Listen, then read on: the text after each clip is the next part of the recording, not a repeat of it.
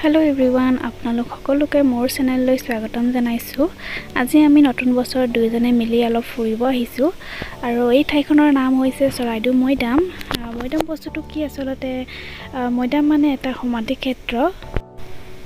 যেতিয়া অসম স্বৰ্গদেউসকল ঢুকাইছিল তেওঁলোকৰ মৃতদেহ যোন ঠাইত পুতি থোৱা হৈছিল সেই ঠাইখিনিকে আচলতে মৈদাম বুলি কয়।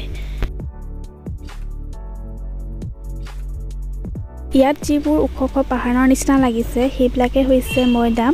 আৰু ইয়াত যিমানবোৰ ডাঙৰ ডাঙৰ মৈদাম আছে সেই সকলোবোৰ ৰজাসকলৰ হয়। ইয়াত কিছুমান সৰু সৰু মৈদামসমূহ আছে। সেইসমূহ স্বৰ্গদেউ আটাইতকৈ প্ৰিয় সন্তানৰ মৈদাম হয়।